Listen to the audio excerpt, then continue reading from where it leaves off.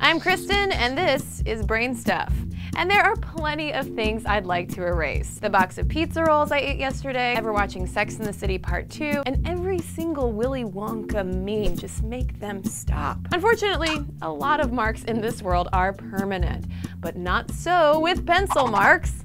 Yes, the humble pencil, or not so humble, as the case may be. Pencil lead isn't actually lead at all, so no, you can't get lead poisoning from a pencil wound. It's made from graphite, which is a soft mineral made up of flaky, atom-thin layers of crystalline carbon. Ever since the 1790s, that graphite has been mixed with clay to achieve different pencil lead hardnesses. As you write or draw, flakes of this clay and graphite mix cling to the fibers that make up your piece of paper. The fibers have a huge surface surface area that catches lots of flakes, and the flakes will gladly stick around for decades if they're not disturbed. But erasers can lift those flakes right off the page by virtue of being stickier than the paper fibers. It's as simple as that.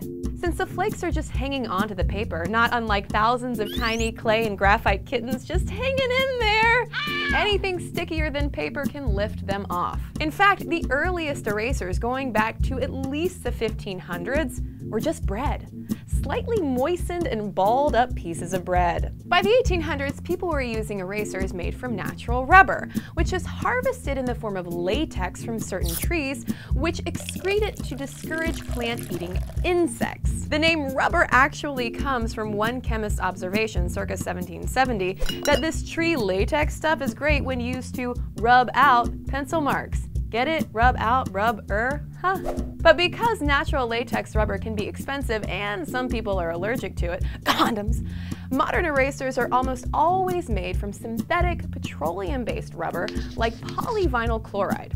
Your standard pink eraser has bits of pumice added to make it more abrasive, which is a cheap way to help dislodge flakes of graphite from those paper fibers. And magic erasers work on a similar principle. Magic.